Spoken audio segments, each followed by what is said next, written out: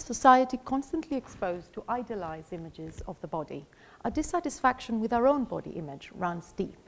Recent findings suggest that more than 60% of adults reporting feeling ashamed with the way they look.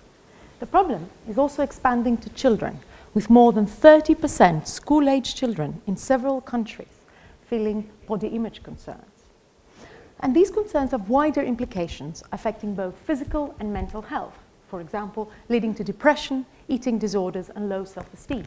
In young people, this low self-esteem further leads to social iso isolation and less participation in educational uh, activities and sports.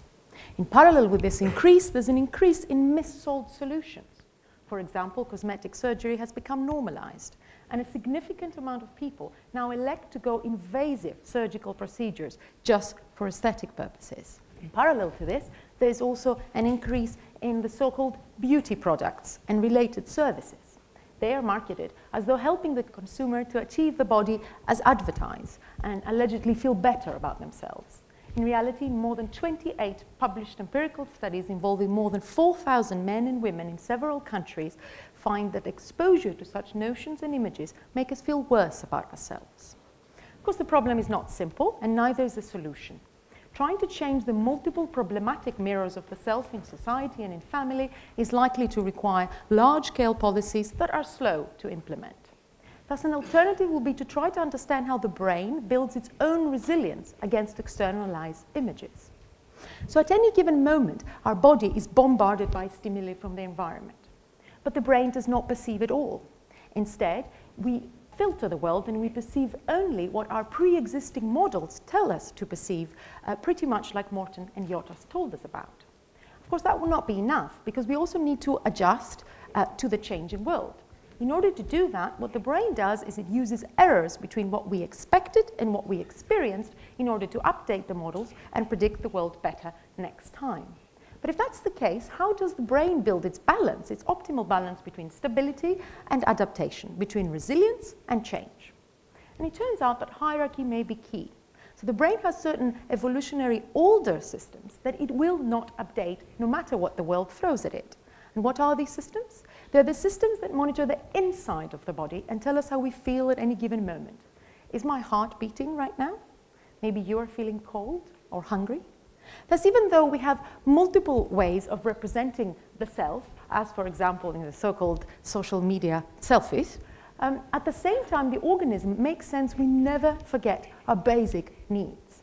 Thus, even though people think it's what they see in the mirror or in the screen that satisfies or upsets them, in reality is what they feel on the inside of the body.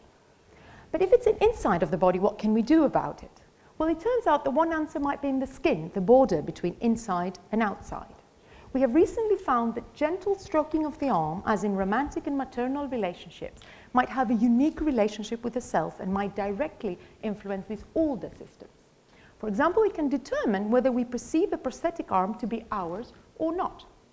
It can um, also help resilience in traumatized children, in people with dementia, and in healthy older adults. This um, unique relationship um, has been known from animal research from at least four decades we know that animals without grooming, rough and tumble play, and, and touch are um, weaker organisms and more distressed. And we know now a little bit about the neurobiology of these effects.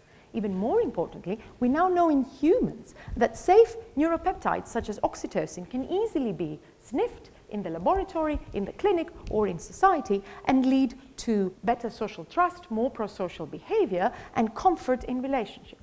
But we have not applied this insight to our most enduring everyday relationship, that with our own body. So I think um, there are some preliminary evidence showing that um, affective touch and oxytocin can improve symptoms in eating disorders such as anorexia nervosa.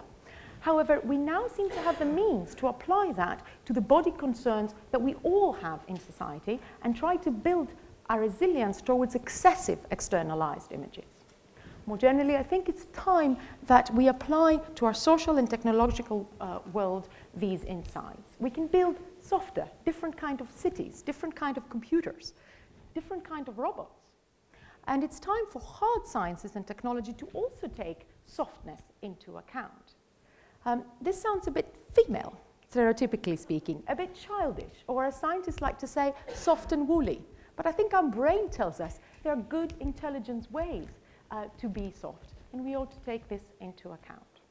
So the slightly provocative question I want to leave you for um, today is how can we construct a more succulent, more juicy, more aromatic, more soft world?